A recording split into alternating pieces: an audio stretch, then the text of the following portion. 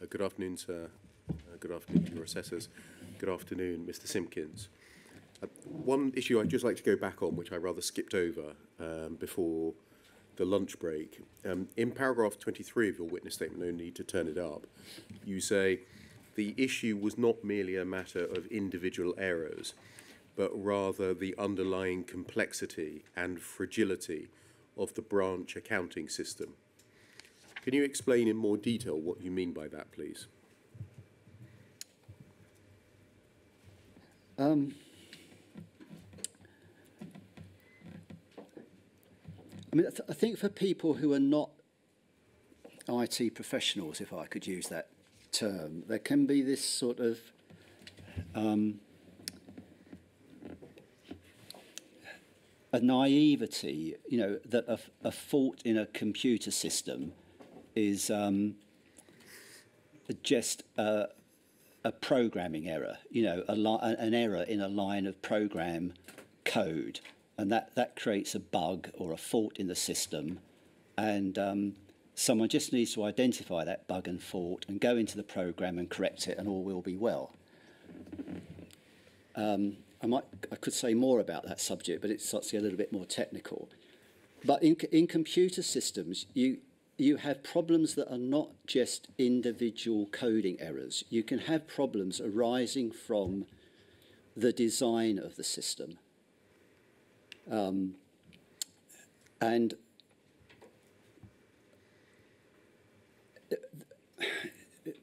difficult to know quite how to explain this in non-jargon terms, but um, the, the, the result is that the this the system is vulnerable to ongoing errors. Uh, uh, perhaps, perhaps, a way, perhaps I could say it like this. As I've already explained, and you know, you know, we tested Horizon for nearly 12 months, and a lot of corrections had to go through the system to fix all different kinds of errors. Now, in a computer program, you get if you get a lot of errors in a computer program, you're rewriting large sections of code. And um, you're adding to the complexity of that code. Um, and, in, and in fixing some lines, you're possibly disturbing other lines. So if, if you keep making changes to a piece of code because there's just some basic way it's not working, you end up with a fragile piece of software. It's like any piece of technology, you know, if you keep patching it, you get to the point where you say, this is ridiculous, you know, I just need to throw away and throw it away and start again. You know, it, it gets to a state of fragility. So, and, and and if you keep getting problems, so, you know, as I identified, you know, in those phases of testing around Christmas 1998, if you keep getting repeated errors in, in a part of a subsystem, you, you think about redesigning it. You know, if you're spending hours and hours trying to work out why it's going wrong, you think, would something with the original specification or something with a programmer who did this, it's just, it's just a mess, you know. So it would be better to redesign it and start again. So I don't feel I've explained that very well, but, but you, it's not just a matter of finding individual coding errors. You, you get to a point where the basic design is wrong. So I would say within the EPOS system, there was some basic misconceptions as to how it had to work as an accounting system. So I, I mean, I don't know the background to that. Misconceptions by who? Well, by the original requirements gathering process, the original systems analysis, the original systems design. You know, it's as though people didn't realize that when you had an accounting transaction, it had to generate a debit and a credit somewhere. You know, it wasn't just a matter, of oh, great, we processed the sale of a stamp. You know, so when you process the sale of a stamp, what debit and credit transactions does that generate? And where are they generated in the system? And if, if people are not clear where those accounting processes are taking place and where that balancing activity is being done in the system, you've got a design flaw. You see what I mean? That's a kind of a design flaw. You're, you, you're not clear on how the accounting flows are going to work through the system in order to ensure that everything balances at the end of the day. And that's what you know, right back from that position in late 1998, where I was concerned about the the accounting functionality within the system, it's not just because I thought, you know, there's a few lines of wrong programming code here. It's because I thought someone hasn't thought through a robust design how this is going to work in the future, you know, with loads of offices, loads of transactions. Is that Thank you. is that good enough? You mentioned in late um, 98 your concern, and you mentioned, uh, uh, as an example, a problem with the um, EPOS system. Were you aware of the setting up of the uh, so called EPOS task force and a report produced um, by the EPOS task force? No. I think it was, I mean, I, you've sent me some documentation on it, and I think it was an entirely pathway activity. And Can we look at that documentation? yes, yeah, um, uh, FUJ 3080690.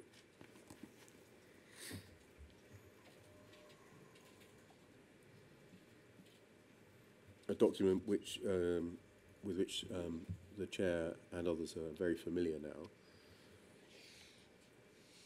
Ignore the date in the top right hand side and treat this as being created in late 98. Um, Is it right that the first time you saw this is when the inquiry disclosed it to you recently? yes. I think you've read um, the document. Yes.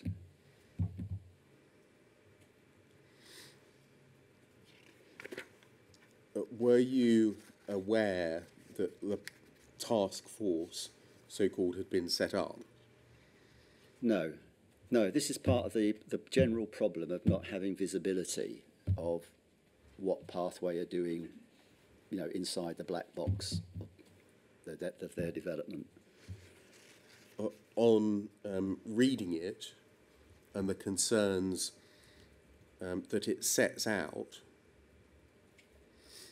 um, is this information that you think ought to have been shared? Well, you, you can see the dates here, August, September 1998. So we are still at a relatively early stage of testing. I mean, I, I didn't become clear, as I said earlier in my evidence, that, that how that there were serious problems in this area until about October, late October, certainly into November. So, but pathway are, are clearly no at this time August, you know, August, well, but obviously before August the 19th, that the EPOS system is not functioning robustly. Um, you know, they're getting a lot, of, getting a lot of errors, PinICLs in it, and so what are they going to do about it? If we skip forward, please, to page seven. Uh, the line, it's clear that senior members of the task force are extremely concerned about the quality of code in the EPOS product. Um, there was a re-engineering by Escher. Since then, many hundreds of PinICL fixes have been applied to the code, and the fear is that code decay will, assuming it hasn't already, cause the product to become more unstable. Is that the um, uh, a an element of the description you were just giving a moment ago? Yes, I mean, it's saying that um, with that number of PinICLs, the the product is becoming potentially unstable. Yes, you know, you, you can't be sure that you're going to be able to correct the problems and diagnose them properly in future. I mean, I wasn't involved. I mean, as as you know, people on the part on the post office side weren't close enough to these technical issues. You know, you're trying to. You, you know, you're, you're, the, the black box problem as we've described it. But what I, I sense when I read this from a you know wider experience is that the pathway solution was critically dependent upon this Escher product. And it, it reminds me of other situations where a, a supplier comes forward in a tender having a kind of a solution which they think is going to meet the customer's requirements. And they hang their proposal on utilising this product, either an in-house product, or in this case, it was actually a product from Escher. So you, you, you base your design on the fact that this core product it, it, it will allow you to build your solution around it. Then you find that it's not really quite the right product that is needed for this particular client's requirements. So you're then into a process of what's sometimes called reverse engineering it or re-engineering it to meet the, the client's requirements. Now that is acceptable to a degree, but, but once you start to re-engineer more of it, you're, you're going to end up disturbing the basic integrity of that product and complicating it. And that's what I fear happened here. The, the Escher EPOS product went through so many iterations, it, you know, it almost became unrecognizable. You've not, read not the, unrecognisable, that's an exaggeration, though, but it became very different to what was the original concept. You've read the 20-page report, I, I, I believe. Sorry, the You've read this 20-page report. Um, yeah, for the first time yesterday, I think. yeah. if you had known the information contained in it at the mm. time, i.e. in late 1998, mm. what, if any, impact would it have had on your own conduct? Um, because this is at still an early stage uh, of y- this is still at a relatively i mean you're into the testing cycle so it's getting a bit late in some ways but you're still in a kind of early stage of testing so you could say there may well be time enough for this problem to be solved you know, you, I, I wouldn't say you, you would have to leap to a conclusion at this point that we're, we're you know, this is clearly undeliverable. I don't, I don't think you could jump to that conclusion. This would be a worry and it would explain certain things. I would have been more, that was, I don't know if I'm going to jump ahead of you. I'm, I'm more concerned that the document you sent me that, about the review of EPOS in late 1999. And why were you more concerned about that document? because that document, which I think was, again, it was an internal pathway document issued in November 1999, where some of their technical people made a proposal that the EPOS code should be rewritten. Now, that is a huge, that is a huge recommendation to rewrite the core product. Now, that, as I, I, as I saw the subsequent documentation, that recommendation was actually turned down by their senior management, who Yes. thought that it would be more cost effective to just keep maintaining it. But to, if, if I, or the, really, not just personally, but if the post office team knew in November 1999, you know, like the month you were about to commit to national rollout, that there were people in Pathway, technical people in Pathway, who were so concerned about the stability of this product that they were thinking of that it should be rewritten. That that that would have been a, well a red a red flag. I mean that that that would have been very worrying. Uh, what what you know what decision we post office would have then have made, but that that is materially significant information to have had or not had. Would your answer be the same if the proposal was to rewrite the cash accounting part of EPOS? I mean, I don't understand. As we said, we we we we didn't understand this internal architecture of the system, and it wasn't. You know, I wasn't in the technical or product assurance teams that may have got closer to this. Um, if you say to me, given the problems, do you think the the accounting aspects of this system should have been rewritten? Yes, I think, you know, given what we're saying, they should have been rewritten. But when they should have been rewritten, um, you know, the answer to that could have been December 1998. they should have been rewritten. You know, there was sufficient evidence at that point to think, hmm, this isn't working very well. You know, we should not necessarily throw everything away, but this area that is giving us particularly business critical problems, we should take a more in depth look and not just try to fix it. Think about whether we've actually got it wrong, and we should, you know, redevelop it. Can I try and draw the threads together and look at um, the penultimate paragraph of your witness statement, please? Yeah. Um, WITN 0609 0100 at page 18, please.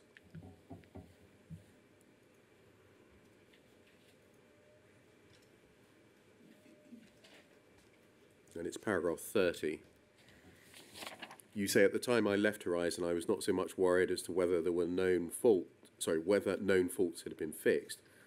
It was rather that the system delivered into rollout had an ongoing vulnerability to error due to its complexity and lack of transparency. And you've explained that to us already. And then you say when errors arose over time during live operation, as they do in all systems, it would be difficult, if not impossible, for postmasters and postmistresses to understand what had gone wrong. You've explained that to us. Would it be uh, difficult or impossible for POCL to understand what had gone wrong in that situation?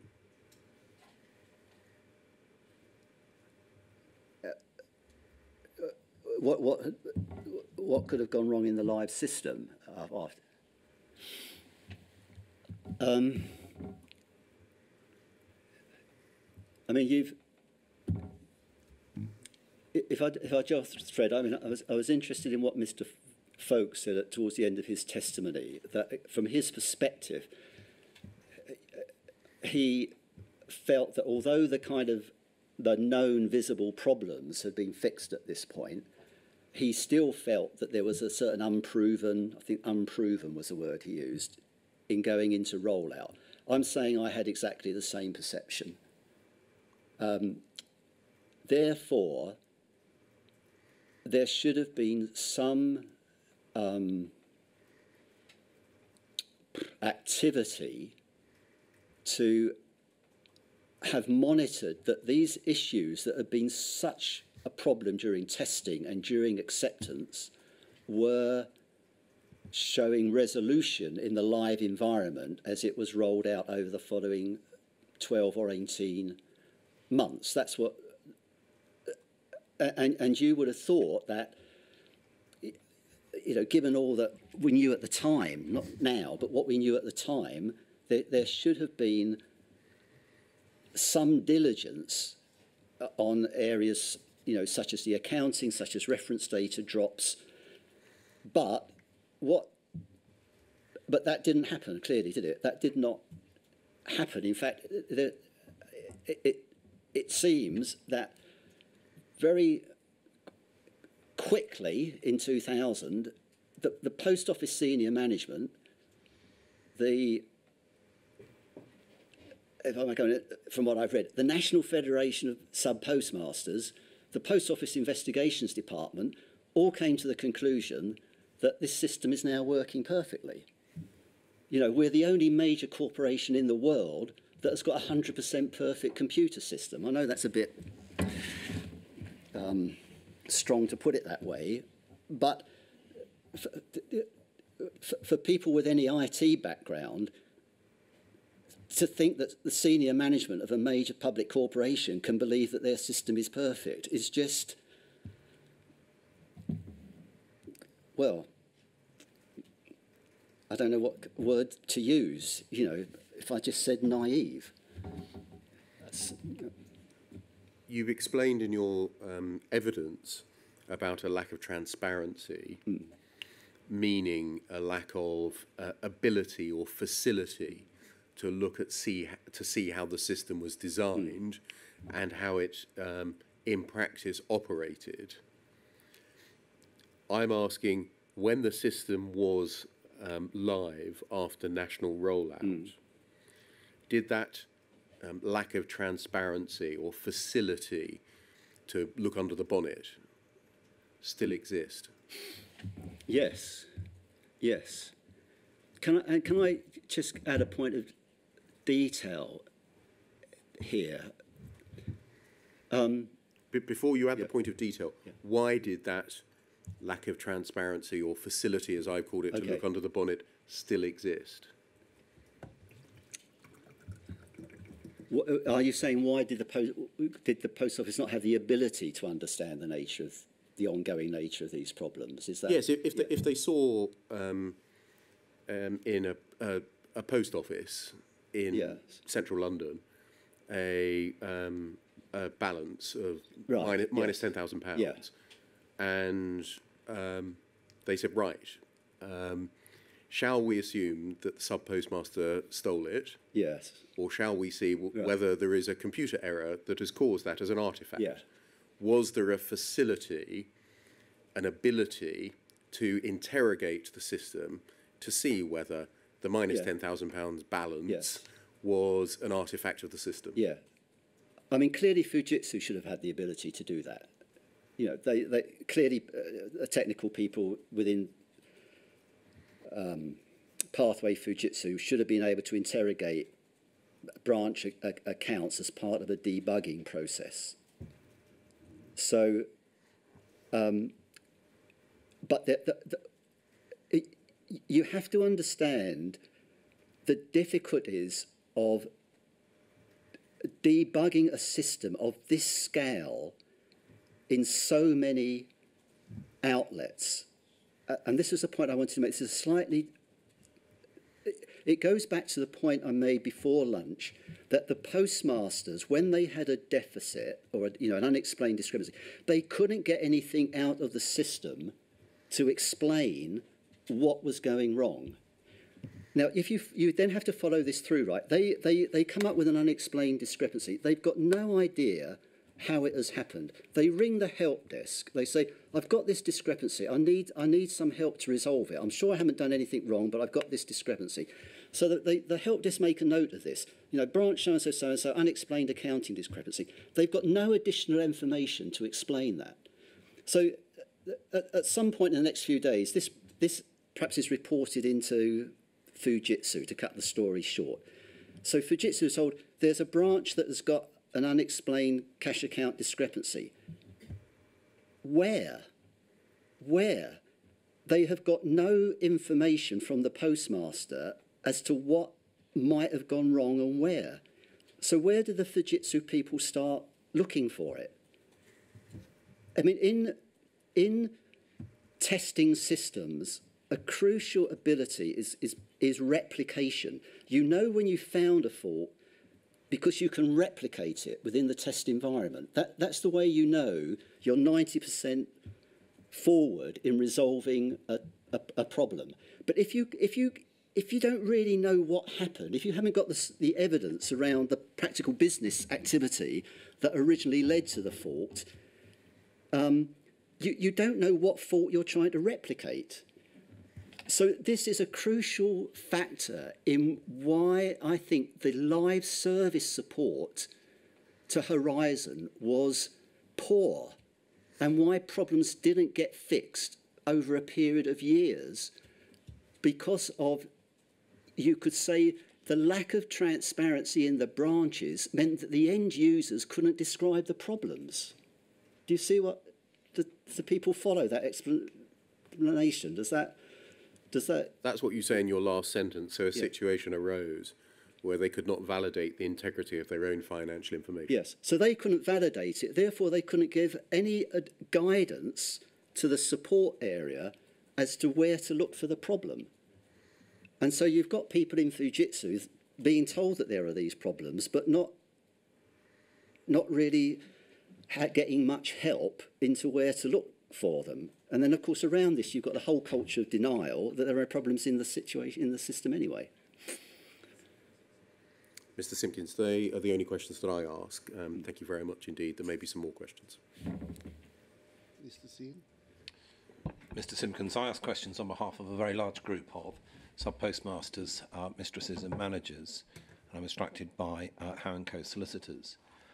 Um, can, I, can I turn, with the permission of Mr Beer, can I turn this around so that we look at it through the lens of your starting point in your evidence, which is that you were not aware that the post office was engaged in the occupation of prosecuting people, Correct. and that therefore that wasn't something that was on your mental desk. Is that fair? Yes.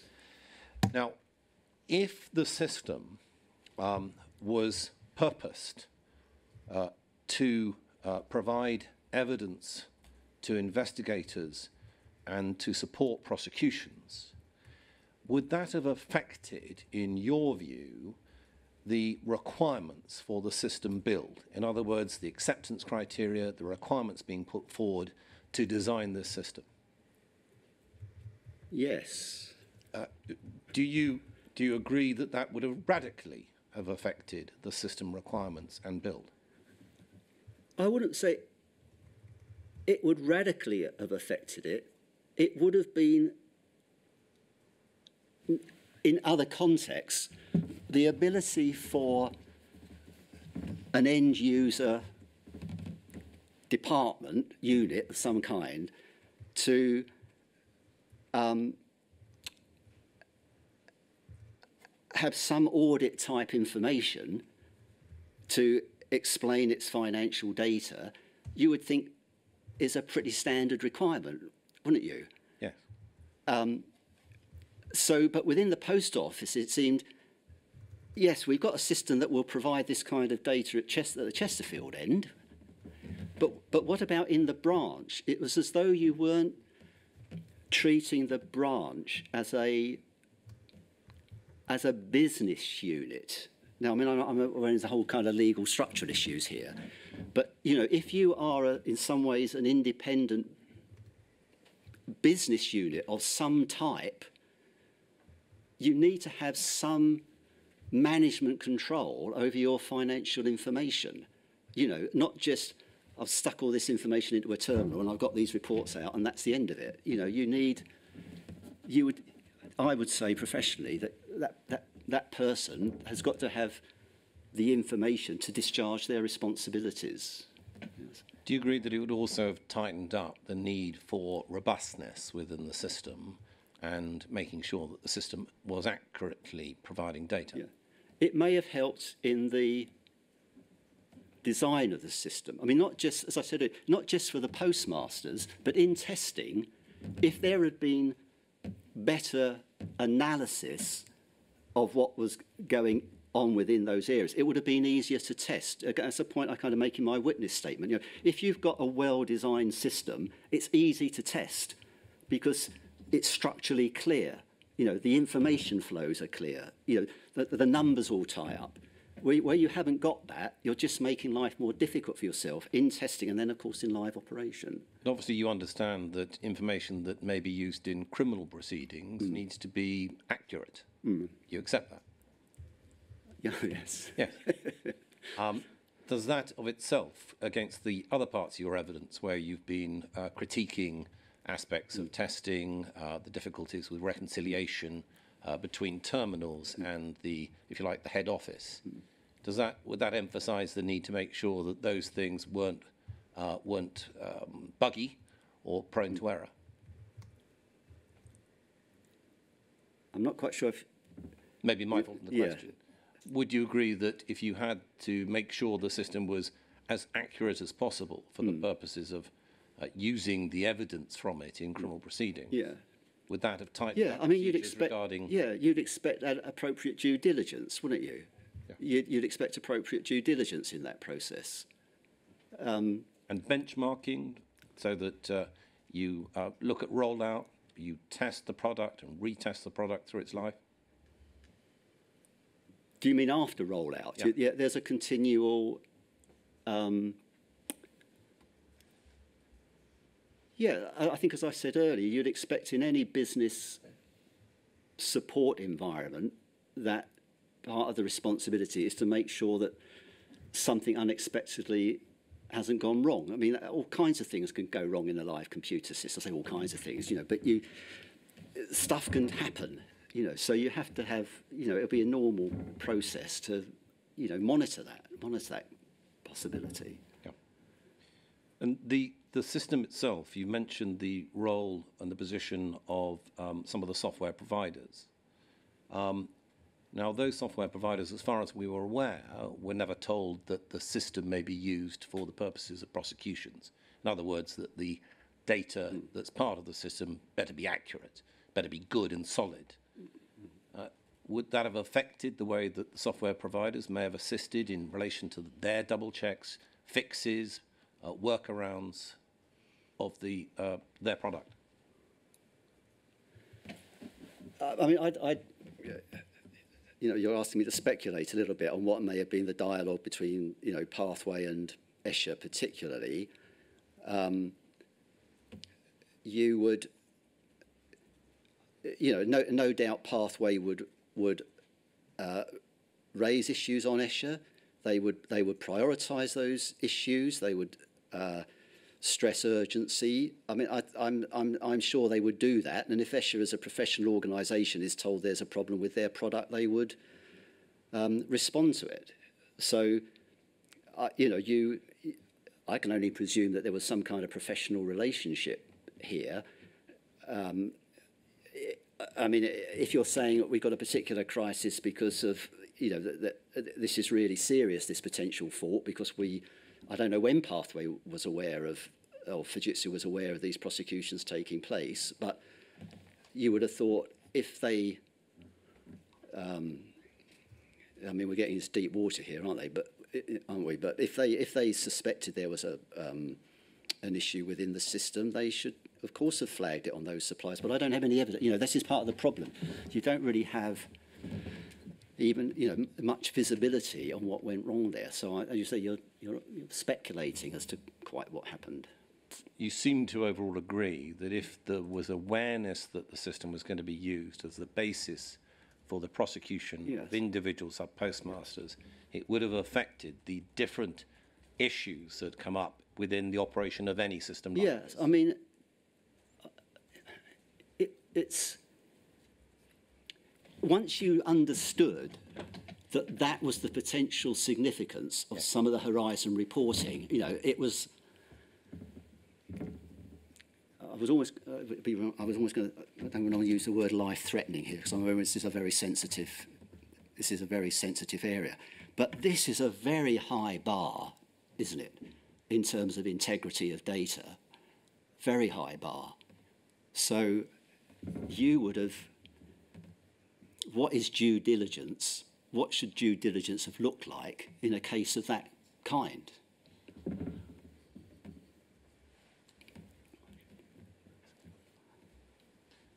Thank you, Mr Simpkins.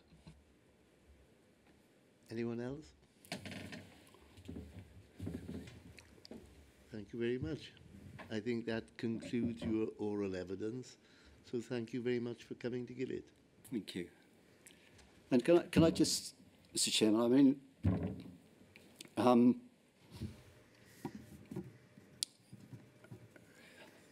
I'd, I'd, you know, like with the other people who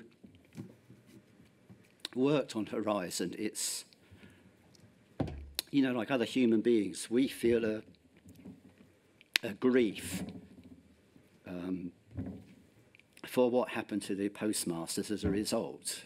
And um,